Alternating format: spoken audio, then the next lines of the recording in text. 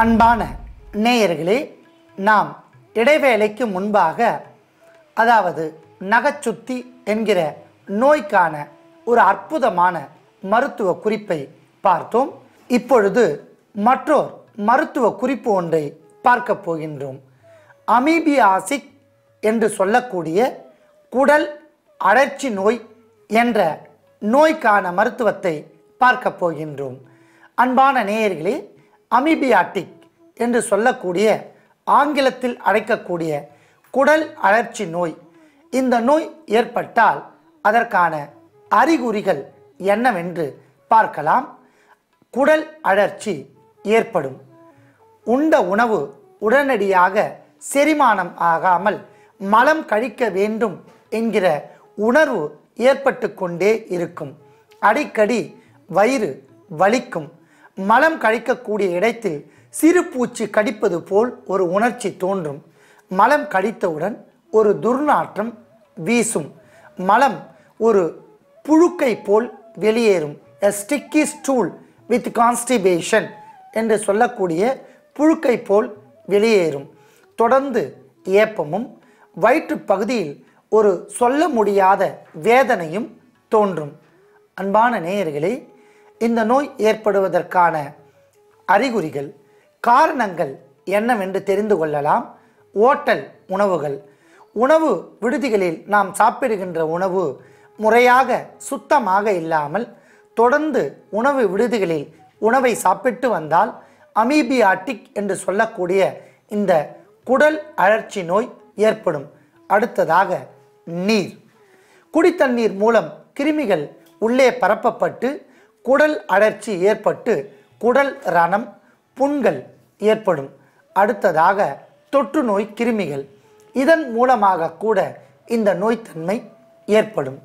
அன்பான நேயர்களே இந்த நோயை எளிமையான முறையில் தீர்த்து கொள்வதற்கான சில எளிய வழிமுறைகளை தெரிந்து கொள்ளலாம்.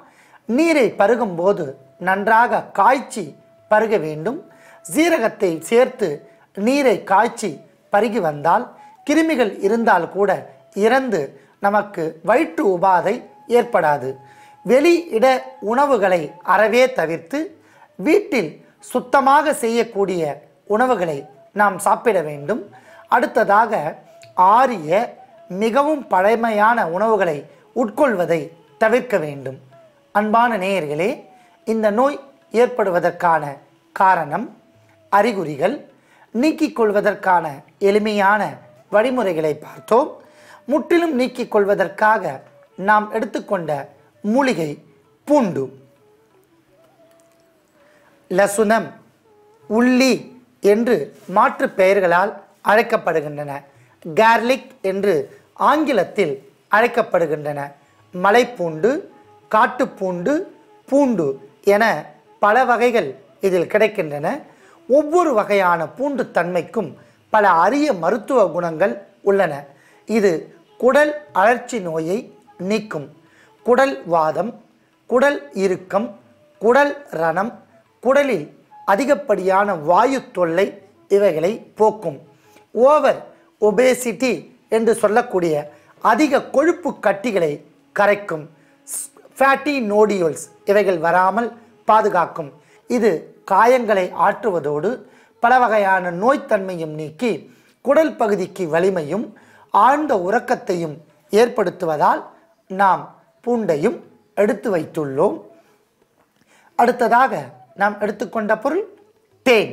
தேன் ஒரு கிருமி நாசினி உடலில் தங்கியுள்ள அழுக்குகளை நீக்கும் தோல் சுருக்கம் வராமல் பாதுகாக்கும் உடலில் தங்கியுள்ள பல வகையான அழுக்குகளை வெளியேற்றி குடல் பகுதியை பாதுகாக்கும். இது காய்ச்சல் ஜுரம் மற்றும் காய்ச்சலினால் ஏற்படுகின்ற தலைவலி இவைகளை போக்கும். உடலுக்கு நன்மை தரும். திக்குவாய் குறையற்ற பேச்சு இவைகளை போக்கும். ஆழ்ந்த உறக்கத்தை வரவழைக்கும். இது நாடி நரம்புகளுக்கு அற்புதமான சத்தை ஏற்படுத்தும். நாவில் உள்ள சுவை அரும்புகளை மலரச் செய்யும். இவ்வாறு பல அரிய மருத்துவ குணங்கள் இருப்பதால் நாம் தேனையும் எடுத்து வைத்துள்ளோம். அடுத்ததாக நாம் எடுத்துக்கொண்ட பொருள் நாட்டு பசும்பால். அன்பான நேயர்களே நாட்டு பசும்பால் ஒரு கிருமி நாசினி. இது வாத நோய் வராமல் தடுத்து நிறுத்தும் உடலுக்கு பலத்தை தரும். குடல் பகுதியில் தங்கியுள்ள அழுக்குகளை போக்கும் எலும்புகளுக்கு வளர்ச்சி தரும். வளரும் குழந்தைகள் முதல் வயதானவர்கள் வரை புத்துணர்ச்சியாக இருப்பதற்கு நாட்டு பசும்பால் பயன்படும் என்பதால் நாம் நாட்டு பசும்பாலையும் எடுத்து வைத்துள்ளோம். அன்பான நேயர்களே எடுத்துக்கொண்ட பொருட்களின் அளவுகளை பார்க்கலாம். நாட்டு பசும்பால் நூறு மில்லி பூண்டு பற்கள் ஐந்து கிராம் தேன் தேவையான அளவிற்கு அல்லது ஒரு தேக்கரண்டி.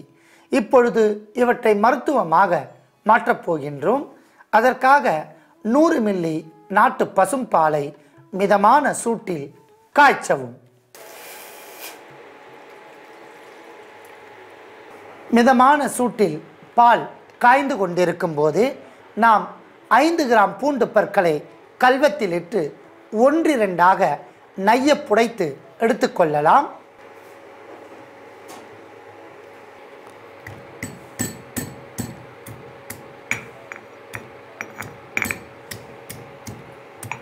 அன்பான நேயர்களே அற்புதமான சூட்டில் நாம் சேர்த்த பால் நன்றாக காய்ந்து விட்டன. இதை நாம் அப்படியே எடுத்துக்கொள்ளலாம்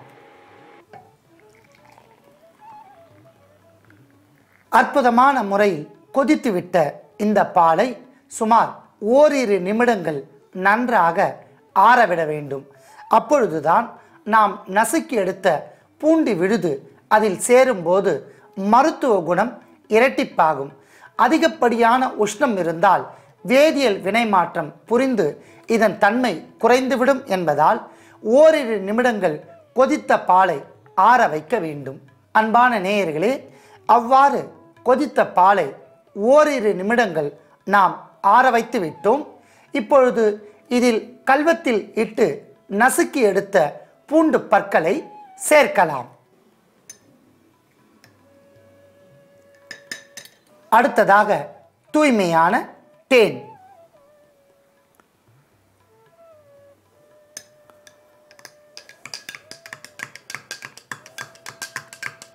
அன்பான நேயர்களே நான் எத்தனையோ நபர்களை சந்திக்கும் போதெல்லாம் ஓட்டல் விடுதிகளில் உணவு சாப்பிடுவதற்கு அழைக்கும் போதெல்லாம் அவர்கள் தவிர்த்து விடுவார்கள்.